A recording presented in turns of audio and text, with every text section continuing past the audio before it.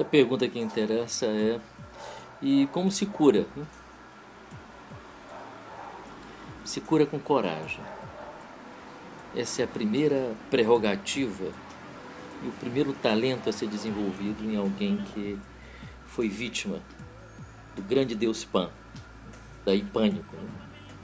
deus Pan da mitologia grega, que fazia medo às pessoas quando decidia aparecer a elas. Né? Porque isso está ligado a um drama existencial da pessoa. Né?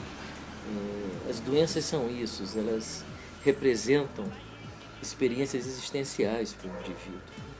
Elas são trampolins importantes para o desenvolvimento mental.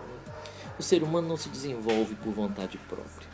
O ser humano tende à estabilidade, tende a buscar é, paz, é, equilíbrio, tudo isso que a gente celebra em verso e prosa como sendo o grande barato da vida. Eu não acho. Eu acho que o grande barato da vida é uma paz dinâmica. Eu acho que o grande barato da vida é esse movimento que a vida faz dentro da gente, obrigando a gente a acompanhar os mistérios da vida e nos descobrirmos dentro desses mistérios. Né?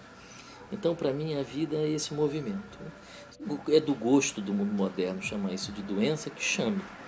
Então, para mim são ritos de iniciação, para mim são ritos de movimento, são convites, provocações que a vida faz, né? nos concitando a conhecer um pouco mais sobre nós mesmos e ao fazermos isso, podemos conhecer muito mais sobre o que é realmente viver, o que é estar vivo e em direção àquele sonho que povoa a mente de todo ser humano, que é o que nós chamamos de felicidade.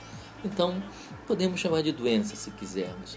De fato, é mais ao, gosto da modernidade chamar assim. Né?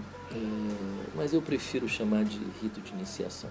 Então, a cura, a cura é, pressupõe a coragem, a coragem de se ver, a coragem de olhar para dentro de si e enfrentar os próprios fantasmas a coragem de ver coisas que não são belas no ser humano e que povoam o inconsciente profundo de todos nós.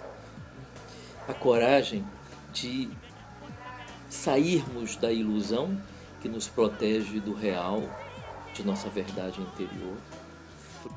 Por isso eu digo que essa doença em especial, né, ela é uma espécie de corrosivo, de um ácido corrosivo né, que dissolve as nossas ilusões em relação a nós mesmos.